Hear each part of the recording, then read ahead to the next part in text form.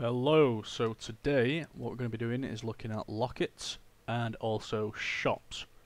Um, just a little bit of information, obviously what you can do uh, with both those items um, and maybe some couple of little bits of tricks and etc. Um, so first we'll start with a Lockette. So Lockettes for players is very very simple. All you've got to do is hold shift, right click, don't enter any information, just click done and that will give you a Lockette with your name on it. This will work as well with trap chests. Don't enter your name, that's absolutely fine. And then if we go over to a door, hold hold the shift, right click, click done. That's if we're going to put it on, on the actual door itself. If we don't want to put it on the door, what we can do is we can put it on top, type bracket, private, end bracket, click done, and it'll automatically fill your name in on second row. We can also lock spawners.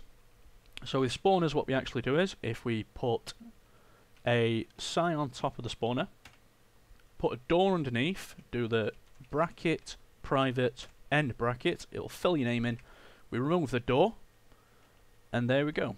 That block is now done. Now some blocks uh, such as enchantment tables, etc., can be done as well. All we've got to do is we can just put a sign on there. If it doesn't automatically fill it in for you, all we've got to do is do as we did before, where we just put bracket, private, end bracket, and that'll fill the information in for you. So that's that. Now, if we go back to the chest for creative users, um, if you're having this issue with normal chest where you go and right click and you try and put a sign on there and it's not going on for you because it's saying you cannot do that in creative mode. All we have to do is put the sign down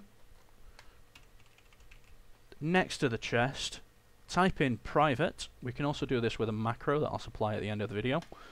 Um, and then that'll snap straight to the chest for you so you're not having to mess about. This can be done with any type of normal chest, anywhere. All we've got to do is make sure that it is next to that. Bracket, private, end bracket, click done, and that'll do for you.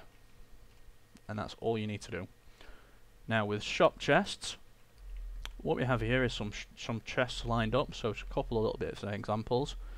So, if we open it up here, all we wanted to do is just do a shop normal shop chest, just put one item in there, we can either do item info from um, from a, a, command in there slash item info and it will give you the ID or the name of the item. Do not fill anything in the first line. Leave that blank. That'll automatically fill in. Now the second line we want to say how many items we want to sell or buy. So in this instance we're going to do one item the player we want him to buy for 20 so that'll give you 20 dollars uh, in-game dollars for any, any any of the items that they're looking to buy. Um, and then for this instance we're going to go grilled pork. And there we go. It's filled in the name for you. Now the next one we're wanting to do a sell. So if we break this off take that port back.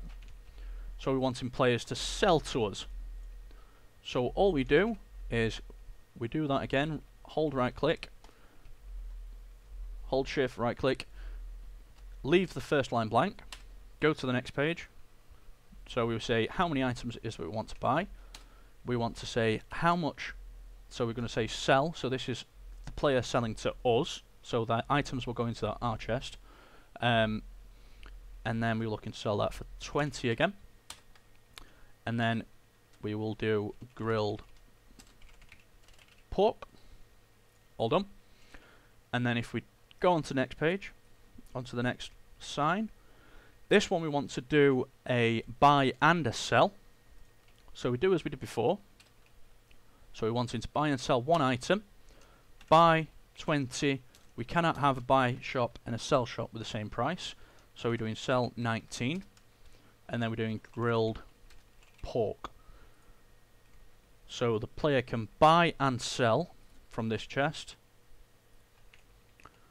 And if we wanted to do a sign where it buys and sells, and we don't want them to sell too many items, we can do this where we fill the rest of the, the chest in with an item that's not on the sign there and that will stop us from buying too many items, too many stacks or anything that we don't want to overbuy for.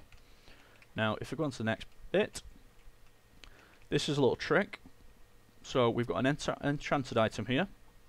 We do item info. Now we don't want to fill all that information in because it might get a bit silly. So every single enchant book, every single item that's enchanted or been anviled or anything like that will have a different ID. So this information at the end will be different. All we have to do is instead of having to find the ID, we will leave the first line blank, say how many of the item it is that we want to, to sell or buy, and then the player will buy this for 200. We're going to use that at the end, so it's just a one question mark, that's all we're leaving in there, and we click done and it'll automatically fill in the ID for you on the fourth page. Now this will work all we need to do if we want to reassign that ID, so use a different book, is we take that out, put another one back in, and then replace the sign. And it's as simple as that. Now, the last bit, if we haven't put the item inside the chest yet, we don't know what we want to put inside the chest, um, what we're going to have to do is, we're going to have to put a sign on there, say how much it is that we want to buy, or sell, or anything like that, put a question mark, um, you'll see that the question mark is slightly embolded, slightly bold there. Um, all we're going to do is punch that with the item in our hand and it'll automatically fill the ID in for you. It won't do it after that, so it'll stay as that unless you've replaced the sign. Um, and that's as easy as that. So if there's any questions about any Lockettes or any of the shop signs, just reply below and uh, we'll try and reply to you as quickly as we can. Okay. Thank you. Bye.